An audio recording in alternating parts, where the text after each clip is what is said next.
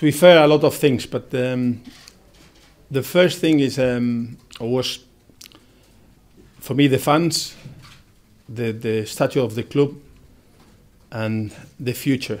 So I have seen all these things together.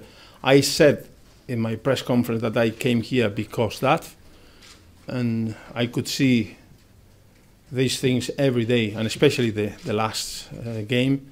So you could see the fans. Uh, I have to say also thank you to you, the press, because you have been very supportive. So a lot of uh, positive things here from day one, and uh, also my family is uh, in England, and then I wanted to stay here. So everything together means that uh, I'm really pleased, really happy to be here.